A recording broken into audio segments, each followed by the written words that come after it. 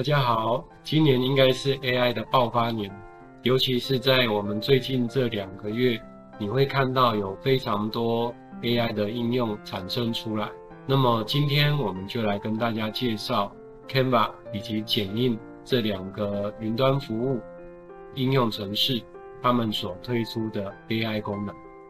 首先，我们要跟大家介绍的是 Canva。在 Canva 之前呢，其实就已经有推出文字转图片的功能，只是它一直处在 beta 版的状态。那最近呢，它已经把它升级为正式版本了。进入到 Canva 之后，你可以找到应用程式里面 Text to Image，就可以看到它的。在这边呢，它目前是可以直接使用中文的。不过，其实说真的，可能用中文还是不大灵光。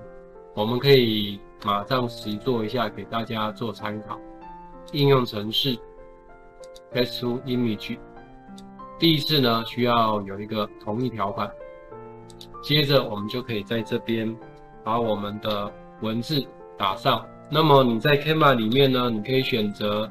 它有这些样式，如果你都不选择，也可以选择这一个送上惊喜，按下产生影像，那这个时候它就会开始帮我们用 AI 的方式，把你所描述的内容产生出来。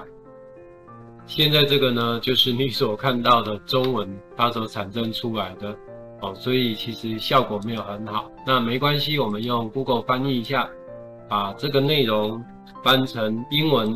那我们再重新产生一次，您可以看到用英文所产生的就会正确。那现在呢，你就只要点一下，它就可以把这个档案传送到 Canva 里面。接下来我们来介绍一下剪映里面的图文成片功能。这个你只要升级到剪映最新版本，就会看到它。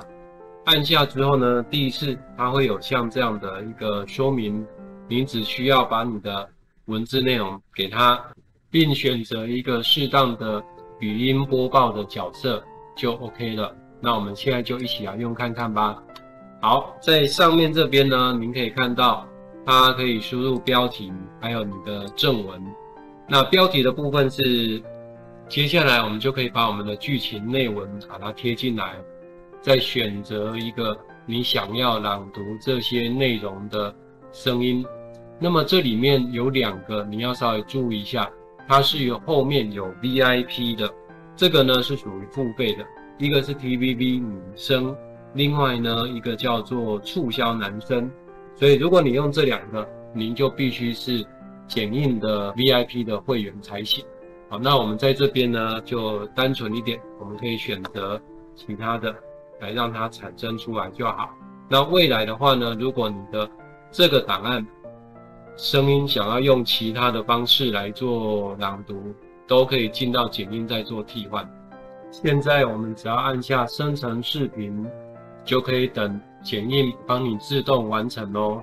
那我们就等待一下。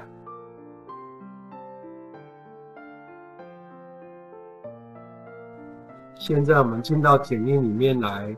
就可以看到，它已经帮我们把字幕、把图片、语音朗读，还有背景音乐，通通都完成喽。那我们待会呢，就可以一起来听看看这样的成果。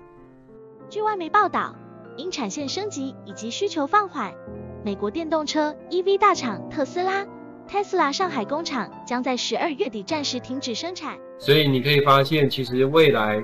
你如果想要讲故事，真的只要有好的剧本，剩下的就是用 AI 来帮你产生这些影片跟配乐的内容，这样以后产生影片的速度真的就会非常快哦。